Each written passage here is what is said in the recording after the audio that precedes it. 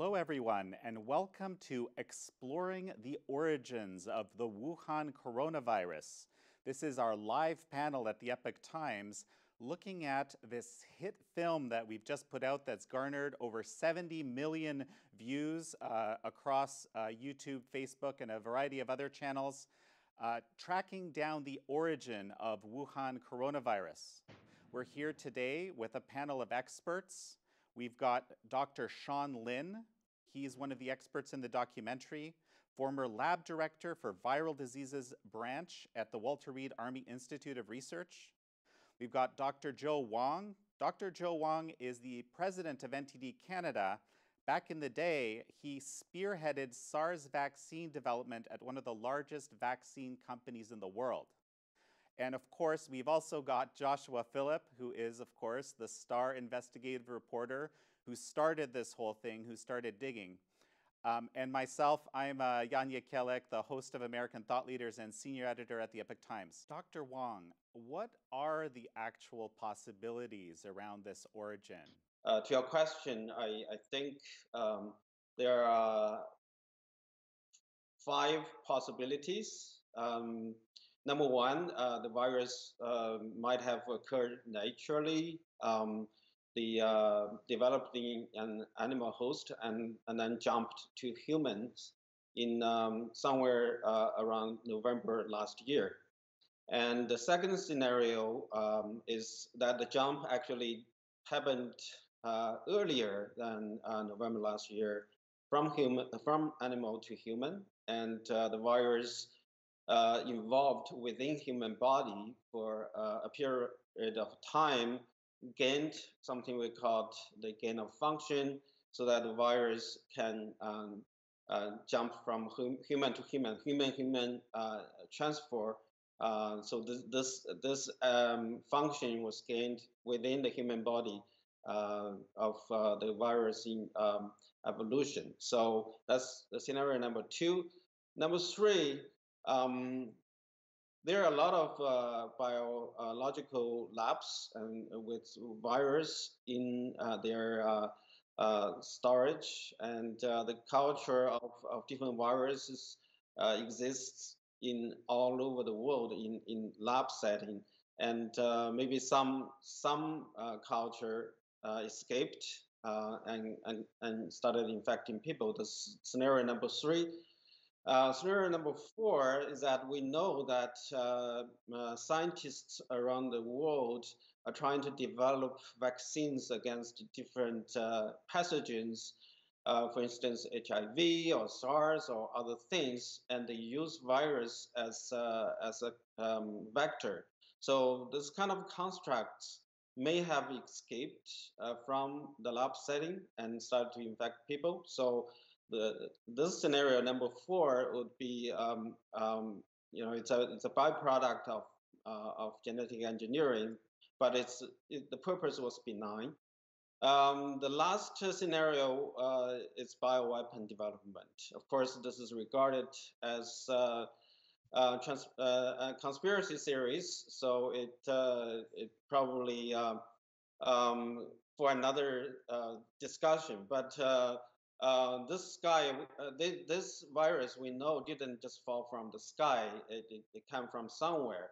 And uh, with uh, more than 150 people killed by this virus, is really uh, tragic, human tragic that the human being, human race have never seen before. It, it, depend, it demands the scientific community to look at all possibilities.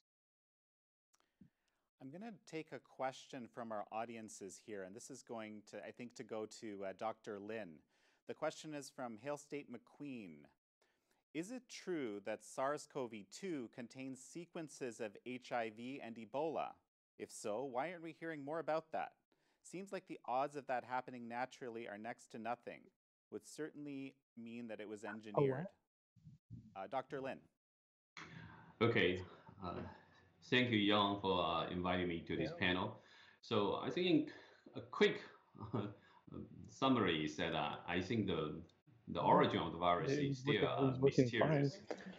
It was working during the pre-call. it's really, really a, a mysterious, one of the big mysterious uh, story right now.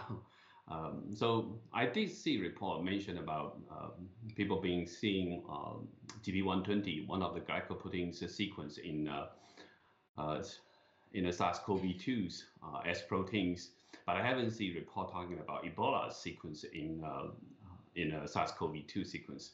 But overall, I think right now very little evidence to prove that because most of these studies try to compare in different virus sequence sometimes you, you're using uh, big blast and you identify a, a sequence maybe uh, showing homology to um, HIV's uh, GP120, the envelope protein. And some people said uh, part of the GP120, the GP41 is also there. But however, uh, I think um, through this kind of blast and alignment, sometimes you got a lot of viral protein sequence can align together. And it depends on the homology uh, percentage. And so it's hard to be a solid evidence say, all right, you, you got this uh, other virus insert into the SARS-CoV-2. So this part, I think, still um, it's hard to be a solid evidence. And meanwhile, I want to mention a couple of uh, reports. Technical staff talking. Yeah, I want to mention a couple of reports mention, mentioning uh, they study about the animal origin of the virus. So one uh, report is on uh, Nature Medicine. It, it study about uh, the title is proxim, proximal origin of the uh, SARS-CoV-2. This is uh, done by a research group in the Scripps Institute, led by Christian Anderson. So in this paper, she highlighted the receptor binding domain in spike protein of the SARS-CoV-2 and he mentioned uh, the uh, there are five important amino acids actually uh, showing opt optimal binding uh, to the, the receptor, uh, ACE2 receptor. However, they argue that uh, this binding affinity is not an ideal one as predicted by the computer model. So they're thinking that if, you know, their rationale basically is that if it, it is a lab engineer, there should be an ideal binding, not a, just an optimized binding. So this is one argument, but I think this argument ha has some flaws in the rationale because uh, uh, the receptor and spike protein binding just an initial step, and there are many factors that influence the virus fusion and entry. And also, uh, they mentioned about uh, if it's a lab engineered virus, and then it should use some of the uh, current uh, reverse engineering systems. And they cited a reference actually was in 2014 uh, but when I look at those review articles, they mentioned about three reverse engineering systems. Um, but I, when I check uh, Dr. Shi Zhenli at the Wuhan Institute of Virology's uh, lab, uh, checking on her previous publication, I actually saw even just on 2016, she had actually upgraded part of her uh, reverse engineering system too uh, from, for example, on the in vitro ligation system, she upgrade from six segment to eight segments uh, system. So basically, uh, as long as the lab is working on this um, gain of function study or on the reverse genetic studies on coronavirus, the system can always evolve. So I think uh, that rationale from the uh, Scripps Institute's paper still uh, flawed.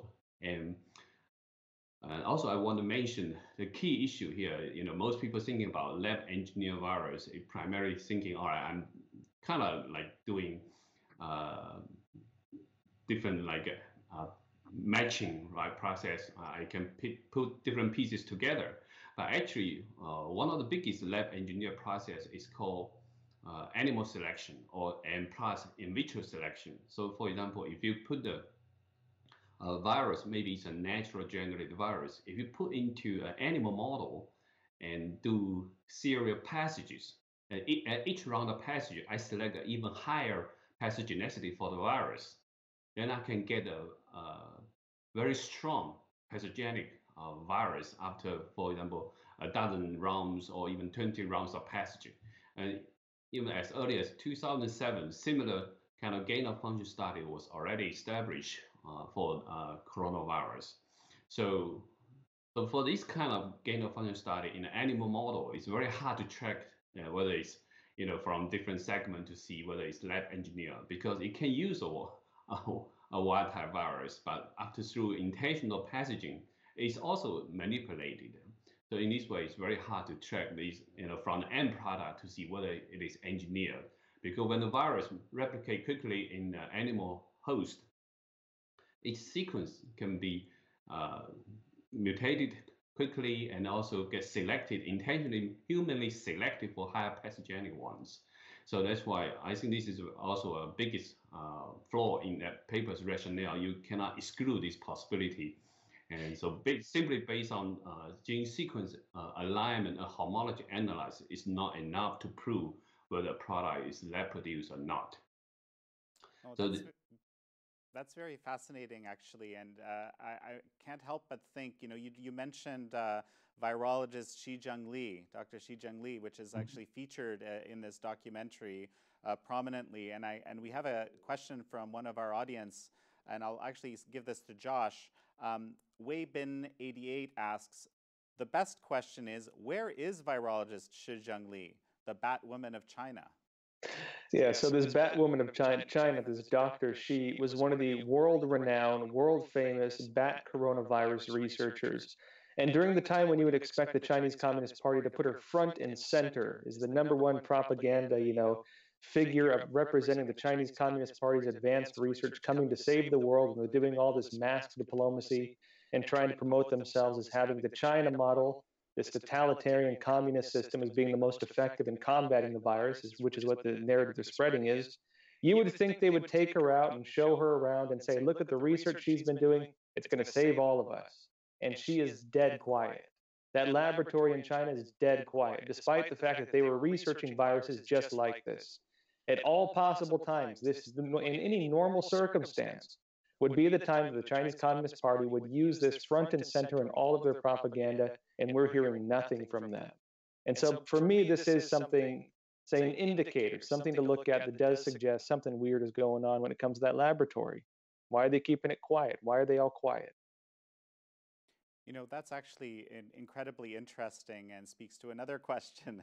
Uh, our audiences are very, very um, uh, uh, in tune with, with what we've done here, I think.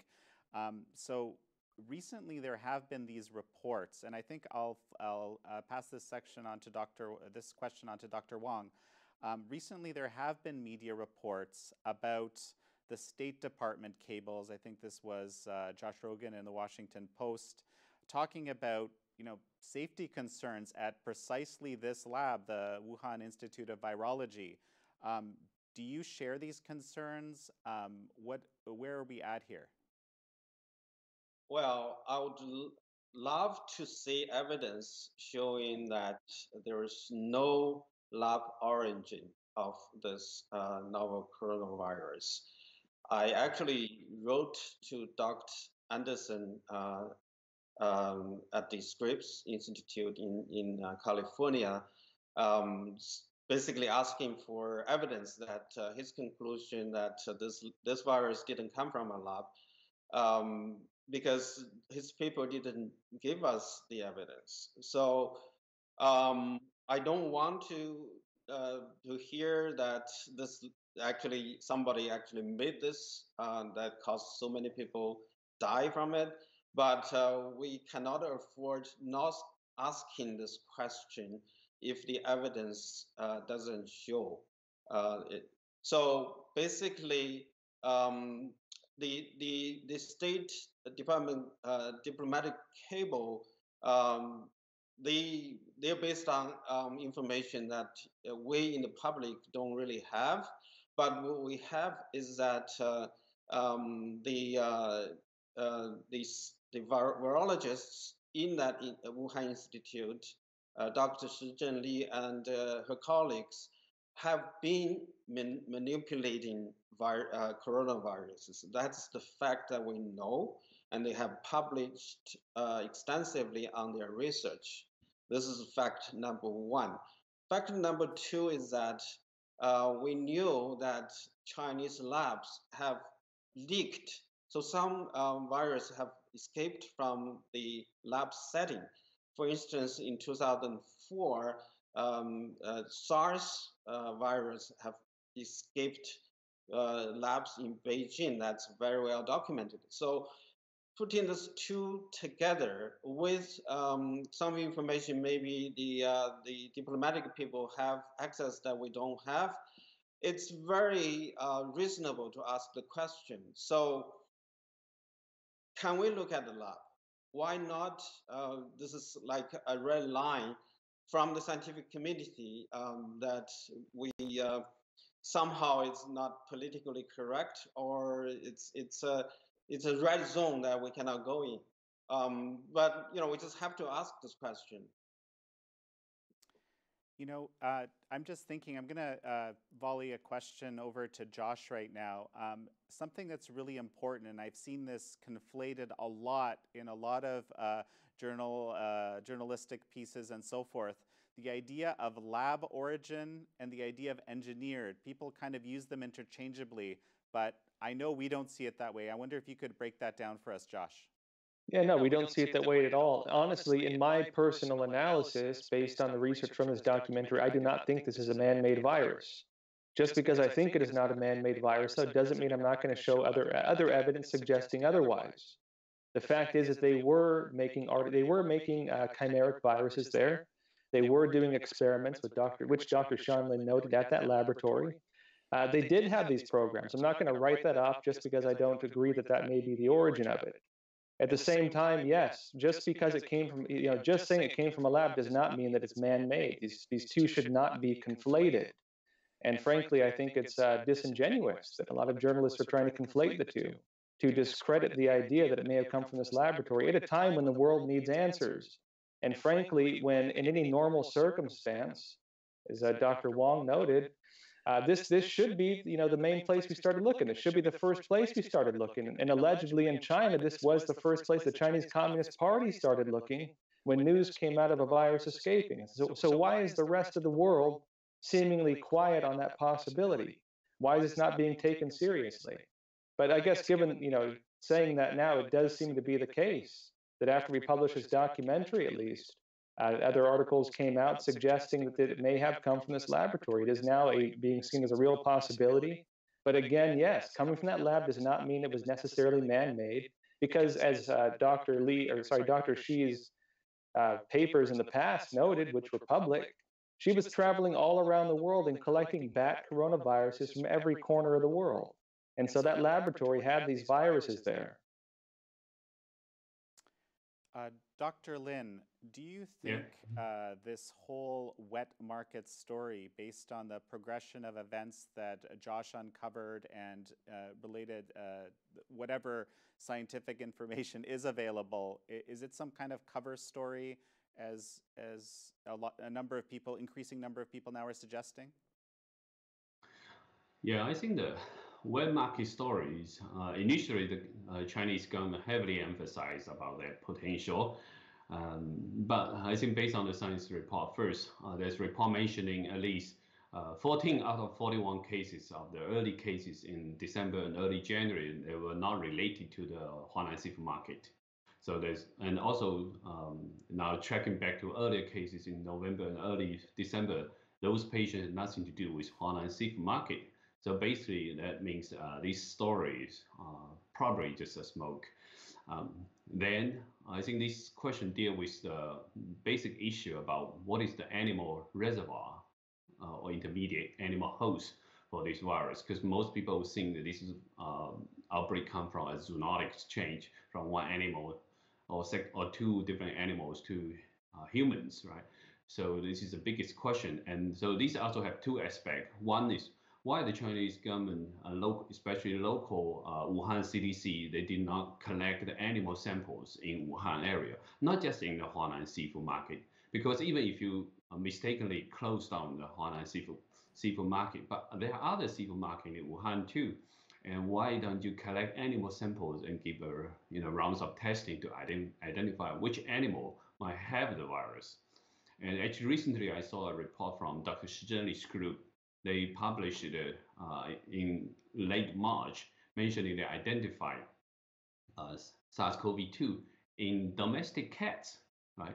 And what's more bizarre is that they designed this experiment in January, and so they started collecting the cat samples in January. but you didn't see any alarm sent to the public.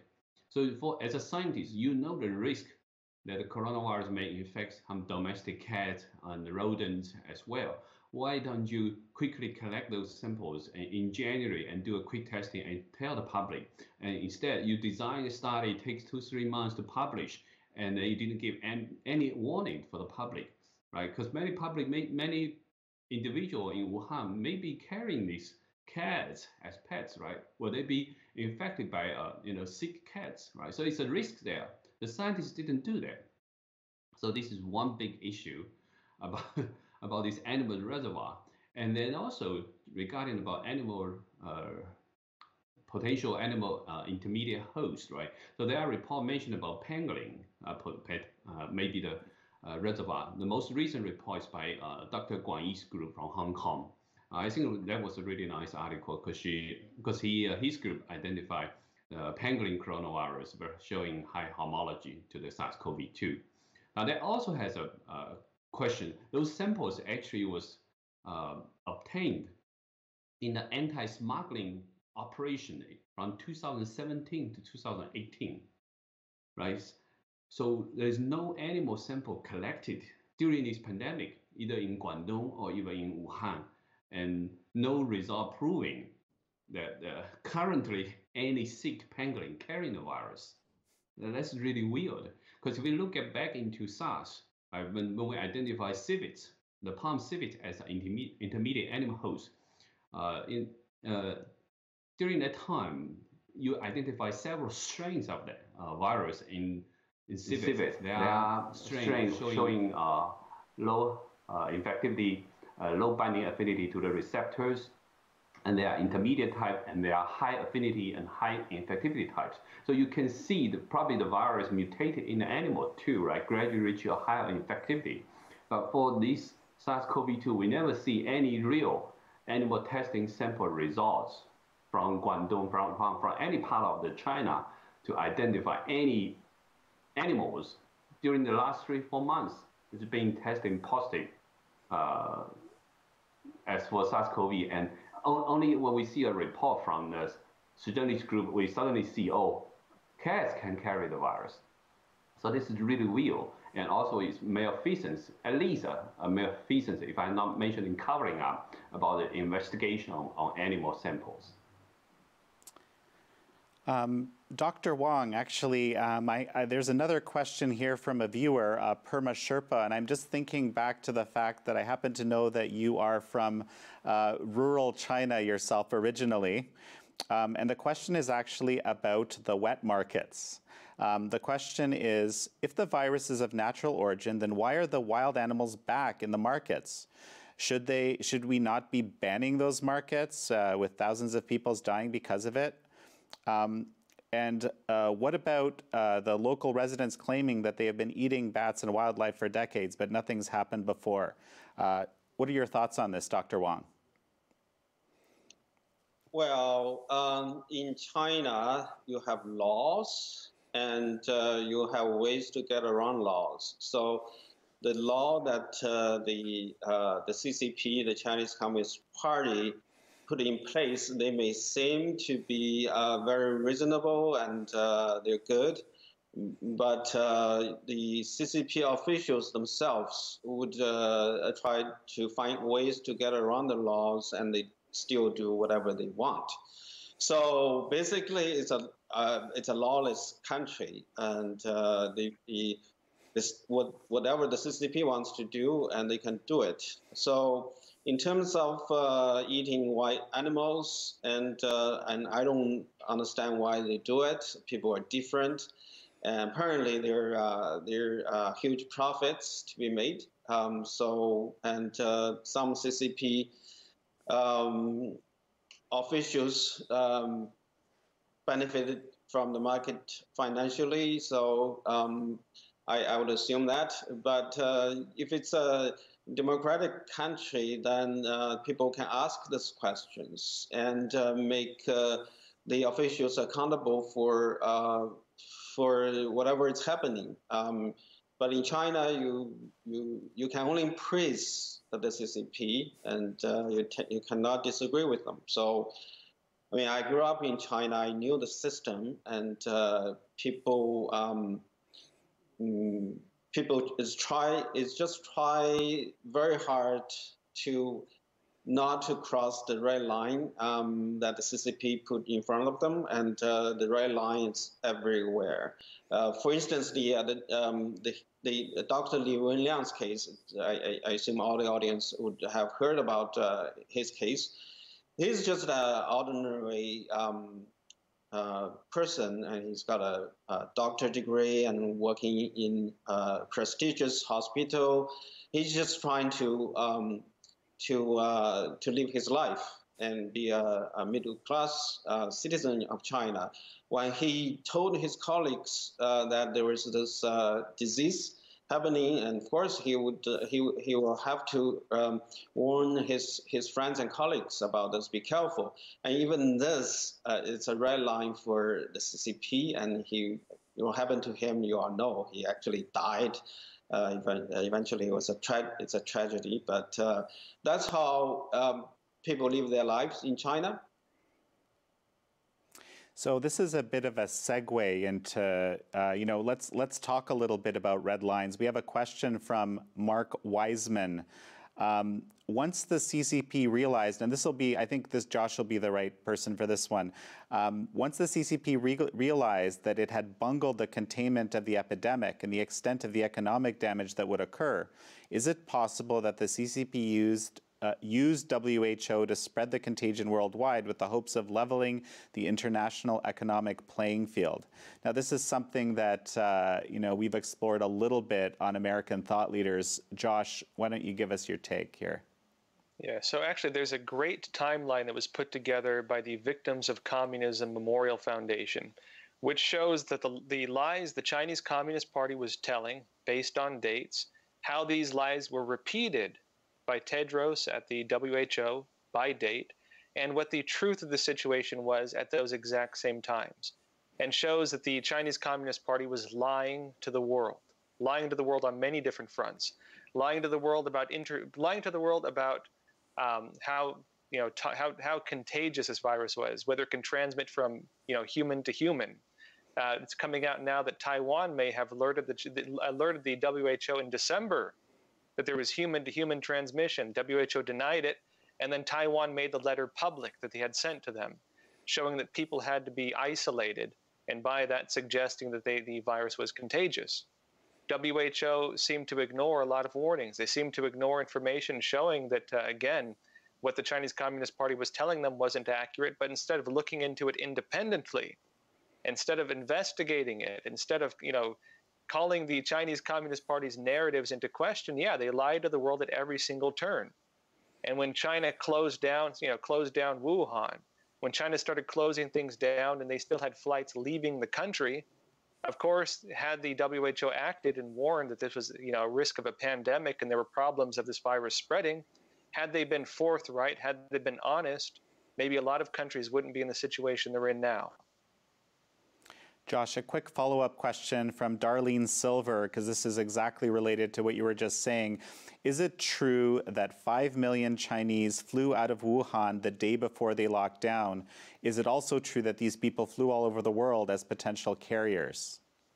Uh, yes, that was accurate. That's what was reported, actually. And um, you know, of course, you could find public information on this. There were even some different research institutes that traced, uh, you know, a few thousand of the individuals who did leave at that time. The outbreak took place right before the Chinese New Year. And you have about 3 billion travel arrangements in China during that time. It was the worst possible time, and notably in the worst possible place, which is Wuhan, which is basically the transit hub of all of China. And so, yes, a lot of people left the city. It again happened right before the Chinese New Year when people are traveling, going home, visiting friends and family abroad. And yes, that very likely contributed to the, the spread of this virus. And that's one of the reasons why the Chinese Communist Party's censorship of it and you know even arresting individuals who tried warning the world about it is being taken so serious because they're lying to the world about it let people leave the country and let them travel to all parts of the world and very likely could have contributed to this becoming a pandemic instead of a localized virus Um, I've got a question related uh, to uh, Dr. Lin. Uh, it's from 3 Squad 56. um, and this is regarding patient zero. We've heard there's been a lot of you know speculation about uh, patient zero. Our documentary goes into this a bit. What do we know so far at present about patient zero? Based on reports by Chinese uh, medical doctors and scientists. Uh, now they kind of kind of officially saying that the patient zero will be some one person got infected in December 1st. Um, but however, there are other studies saying that maybe other people got infected in the middle of November in, in Wuhan area. So it's still an ongoing investigation. There is no conclusive um, uh, uh, really strong evidence, conclusive evidence to prove uh, someone is uh, patient zero, because even hard to check on which um, animal will be the intermediate host. Because if it's happened naturally, was if you can identify the patient zero, you usually can identify how did he get infected. So you could identify what kind of animal maybe this person, you know, get uh, and got infected, right? So uh, all these parts still mysterious in, in China. So I think this is a biggest question. Even though the Chinese government tried to blame, uh, you know, the patient zero could be come from other countries, uh, but I don't think uh, any of the uh, phylogenetic analysis so far can uh, prove that. And even though there are recent studies showing that the coronavirus have different, potentially different type based on genetic code um, analysis, but all these type A, B, C that are being reported, uh, uh, they all have uh, cases from Wuhan showing more ancestral sequences. So I think the patient zero is still in China, but we just don't know who, who is the patient zero right now. And a follow up question to Josh. This is actually kind of the second part of this question. Um, who, uh, patient zero, could they have been a researcher who was cremated. And I'm wondering if there's any further info on this. So, in our documentary, we tell the story of this intern who was working at this Wuhan laboratory, who a lot of people believe may have been the real patient zero. And we note how her information was scrubbed from the website of that laboratory, not- notably scrubbed very hastily, it seems, and done very sloppily because they left some information of her on the website, even though they not denied she was ever there. There, now, the uh, some of the different news articles coming out actually corroborate our findings on that, corroborate our claims on that. And of course, we can't take exclusive um, credit for that because her story was spreading around even before. You know, it was, in, it was in the public domain. But it does seem, at least in my analysis, that her, her story is a very plausible one. She may have been the real patient zero. And the story generally goes like this that she was one of the researchers there. There were reports coming out that there were some accidents in the handling of bats and there was cross infection to a human. This intern, and in particular, got out, passed it to her boyfriend, began spreading it around Wuhan unknowingly. And so, yes, we, we do tell her story in the documentary. So let's jump to a bit of a different vantage point, and I think we'll have to talk to uh, Dr. Wang about this because this is kind of his his special specialization. Um, the question is the whole world is putting huge hope on vaccine development. Uh, and uh, that the population could get uh, vaccination, inoculated, and develop herd immunity. What is your view on the progress of vaccine development as we stand right now? Well, let me answer this question first, and I, I have some um, um, thing to say about uh, the, the patient zero as well, if I may. Um, in, in terms of vaccine development, uh, vaccines by definition uh, are going to be given to healthy individuals. So uh, you want to you want to protect people. You don't want to poison people. So the first and, and the most important thing for vaccine development would be safety. So you want to uh, vaccinate uh, a large part of the population with your vaccine And uh, the, the last thing you want is, uh, is actually causing disease to uh, the people vaccinated. So safety is number one, and then uh, efficacy. So the, the vaccine has to uh, do the job. So um, uh, stimulating immune response from from people and and when when they're infected by the, the virus, uh, the, the your immune system is ready. So um, you cannot escape this two thing uh, at all uh, when you develop uh, your vaccine. So it takes time. Um, you uh, we will be will we will be extremely lucky if we have uh, uh, a vaccine by the time this time next year. Um, I you know, from my experience, uh, that that that's how long it would take. Um, to make sure it's safe and, uh, and it's working.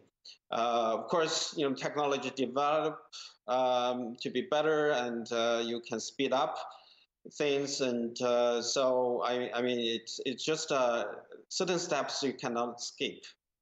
Um, so um, there, I, am glad to see there are a lot of people uh, putting a lot of effort in developing uh, different kinds of uh, vaccines uh, against uh, this virus. Uh, I hope um, I'm, I'm confident. I'm confident that uh, uh, sometime next year we will we'll see effective vaccines in um, in the market. Um, and, and, going back to the patient zero thing, it's it's about the transparency and and basically when we deal with uh, this virus, it's it's a common enemy of all human beings, and uh, we should all put our um, efforts together to fight this. Uh, so it, it requires uh, the entire commu- uh, scientific community, it doesn't matter you're in China or in, in the US,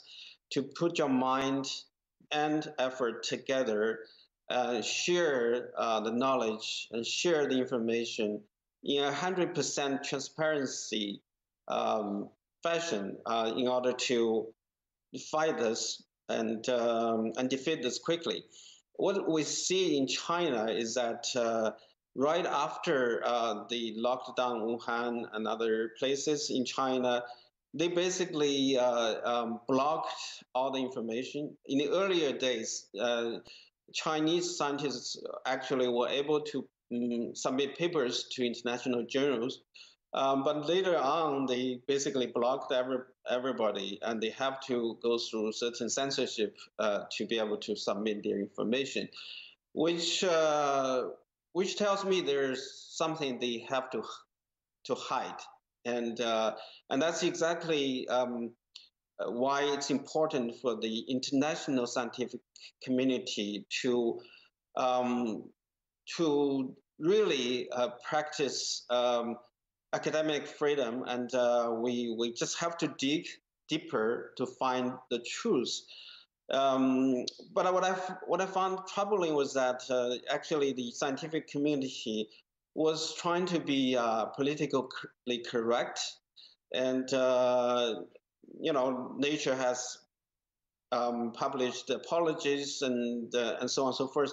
I I, I get it. So uh, people, um, um, some people um, actually discriminate against uh, Chinese because uh, you know the, uh, the, the, viruses come from China, and then we'll, we'll always see people like that. But that shouldn't prevent us from asking the questions and dig deeper to find the truth. I found the uh, the the, the um, international scientific community's attitude in this uh, sacrifice academic freedom for political correctness is very troubling. I've got a question I'm going to lob over to Dr. Lin here. Um, essentially, you know, Josh, you talked about how bizarre it is that this lab and this researcher isn't kind of front and center of, of the whole discussion, uh, if, even for pot potential propaganda uh, purposes. So we have here a coronaviral CV is asking, Uh, what factors or conditions would need to have been present to result in a virus escaping from the Wuhan P- P4 lab? What are the protocols? Has anybody alerted or was it covered up?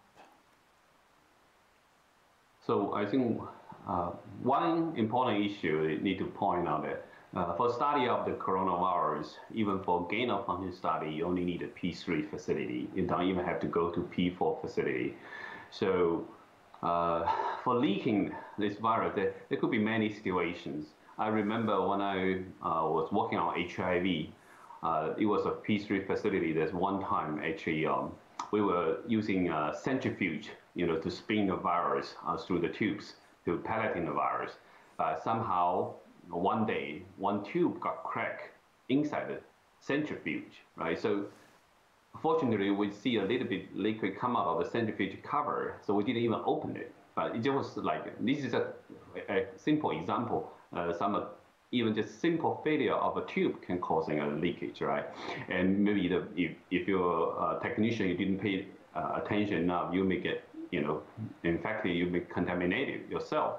So there are other potential uh, management issues in, in this kind of lab, especially when you're doing with animal studies. So how do you handle the animal um, corpse and the environment, uh, whether the technicians handling the animals following the proper procedures, uh, precaution measures, right? So the technician may get infected. The animal caught, if it's not treated, handled it properly, maybe even sold to the uh, you know wet market. These are the potential sources that you can spread the virus to the community as well.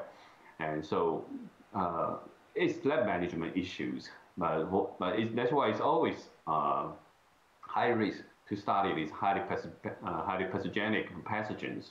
Uh, it's really uh, need a strict management for this handling of the virus uh, for these highly pathogenic pathogens. I also want to add a sentence regarding about the vaccine development. So I saw uh, Dr. Wang mention about the vaccine developments. Uh, I wasn't too optimistic, you know, because uh, the work being, for example, even in our uh, Walter Reed Institute of uh, Research, the military been studying about dengue vaccine for the last two, three decades, but no vaccine so far. Uh, HIV been known for such a long time. We only have cocktail therapy. We don't have effective vaccines too. And SARS outbreak, you know, in 2003, but so far we still don't have SARS vaccines. So even though for the last 10 years, uh, there are so many different new platforms being developed for uh, design, developing vaccine. But I think one fundamental issue is uh, we still know very little bit about the immunologies, how virus evade uh, immunities even causing cytokines, or whether they are um, antibody-dependent enhancement of the virus uh, infections. Because there are so many questions related to immunology still not answered. So I actually wasn't too optimistic about the vaccine development. People can hope for it, and in, uh, in initial results, in the phase one result, we, we will see in, probably in a couple of months, we will see some initial results. But whether long term it will be a very effective vaccine or not uh, is still a big issue. A question for Josh. Um, there's been uh, basically criticism uh, about around the documentary that it's kind of promoting the engineered origin uh, theory, and I'm wondering if you could actually speak to that. Yeah, so in the documentary, we of course look into this laboratory. We of course do look into evidence that maybe it was engineered because they were making uh, chimeric viruses. They were creating new viruses at that laboratory and they were working on altering natural viruses at that laboratory. All of that work was, in fact, being done at that laboratory. To write that off would not be responsible journalism. That is not to say, though, that we say that is the absolute case, but we do feel it necessary at a time when there is not a clear conclusion, at a time when we don't have answers, to at the very least show what was being done at that lab, the kinds of viruses that were present at that lab, and to show what may have happened, you know, we, we of course need to acknowledge this. Now, that said, uh, it does, you know, of course, they also had natural viruses there. They also had uh, bat coronaviruses, notably, that Dr. Shi had written about, that could allegedly jump from a uh, bat to a human without needing an intermediary species. And so it's also very possible it came uh, from one of those bat viruses. We, again, we don't jump to conclusions. The documentary is not meant to jump to a conclusion on that. We do show evidence on both sides because that is responsible journalism, at least as far as I'm concerned. So, Josh, you're, you don't believe the documentary is making firm firm conclusions. Um, what do you, what other work do you hope that this documentary will spur? Well, you know, part of the idea of this documentary, um, I, I, understand I, I, mentioned this at the beginning, but I heard there were audio issues with me, so maybe I'll say it again. You know, the idea of this documentary was not to come to a hard conclusion because the fact is we don't have that. We don't have those answers right now. Until there's a real investigation, until we can get investigators on the ground in China into these labs, possibly, which does appear to be the general consensus now when it comes to international investigations on the origin until we get those answers, we're not going to have a 100% answer. And so the idea with this documentary was just to look into what we can show, what evidence is there, what are the different you know trails of information we can follow that would lead us to having a better understanding of where this thing came from. Of course, we look into every claim. We look into the idea that maybe it came from this Wuhan seafood market. Uh, the evidence we show uh, pretty much discredits that, and of course, that has been largely discredited already we look into the idea that maybe it came from this P4 laboratory. And uh, based on what we've seen, that may very well be the case. And based on information that has come out after we published this from other media that does corroborate our findings, uh, that may very well be the case. Uh, we also look into the idea of possible bioengineering. Uh, we show evidence of the research that they were doing around this, that they were writing about it publicly. They had reports on it. Uh, we also show the possibility of a bioweapon doesn't mean we conclude that that is the case. It's just we, being responsible, are looking into the different claims, the different possibilities, and showing evidence that could support those or disprove those. My personal analysis, based on you know having done this documentary and looking into it, I personally think it was a natural virus. That's my personal conclusion. And uh, that if the documentary, I know we did have individuals who you know did say may you know they think it may be bioengineered. That's their opinion, of course. But as a responsible journalist, I'm not going to silence other people just because my conclusion is different from theirs. So this is actually something I may ask more than one of the panelists, but I want to start with uh, Dr. Wang. Um, and it's just kind of talking about the general reality in China. We've discussed that a little bit and how that actually pertains to the statistics we get from there.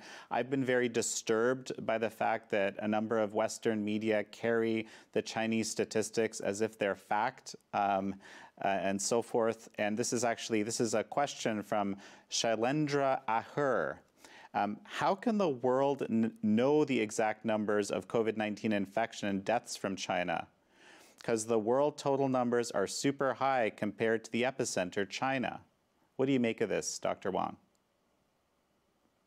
Well, um, this uh, virus come from China, and uh, the Chinese Communist Party is the governing body, um, and the, uh, they're responsible for this. Uh, and there's no other way to, to look at it. And uh, the the Chinese, the CCP has a history of um, of uh, censoring information, manipulating information. Um, the basically their number one priority is uh, their uh, power and uh, whatever they feel that uh, it's uh, it's threatening to their power, they will do whatever to um, manipulate it, and they see this, uh, this pandemic um, as uh, as something they have to control the information, and uh, and now you see that it's it's almost it's it's almost amusing. I, I, I am using the wrong word to say it because um, because uh, the world has suffered so much and uh, we still see the number in China being like a few thousand deaths. This is just impossible. And uh, they see this uh, as uh, something like uh, it's obvious, and their cover up has uh, basically backfired. So they they they jumped their number today um, by 50% of, of the death in Wuhan. And just they, they have no respect for facts everything is up for manip- manipulation. And whoever in the West would believe in the numbers that released by the CCP would be a fool. Stupid. Thank you, Dr. Wang. Um, let's talk a little bit about the realities of these patients, about the cost. This I'm going to lob this to Dr. Lin. Um, from what we know now, will there be any long term effects for the patients who are actually recovering from coronavirus? Oh, there are multifaceted uh, regarding this long term effect. Uh, depends on how uh, severe people's symptoms are developed when they got infected, right? Because many people, if they're having a severe disease, they may actually um, have damage to the lungs or multiple organs, right? You, they may come come back from multi-organ failures, and so they will suffer for a long time for uh, this, especially lung damage. Many people may live on, you know, respirators for a long time, and also uh, if it's mild disease, people will still uh, need support for oxygens, and also um, even if you just have uh, very mild infection, it could become uh, uh, embedded in your in your systems. Uh, overall, if we talk about whole population, it may be an endemic situations, right? So it, it, may become seasonal, uh, but uh, it's hard to predict right now because this virus. Quite often, I, I feel you know if you're in virology for a long time, I just feel a lot of time virus outsmart human beings. So this one is particular uh, smart and it you know how to evade system. It probably replicate uh, in different efficiency in different human organs too. And so how do you handle uh, this kind of outbreak with one simple vaccines? Uh, it, it's a big issue.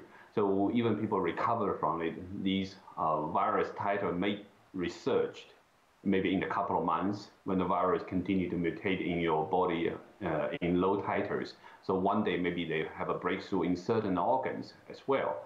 So it, it's hard to hard to predict right now because I think so far we know very little bit about virus kinetics overall in, in different organs in different uh, in different uh, part of the human bodies. This part of the study still missing a lot and also regarding about the immune response, how the virus evade immune response, and also how the virus uh, titers and the kinetic was so high even before the paper showing symptoms. These all are mysterious questions.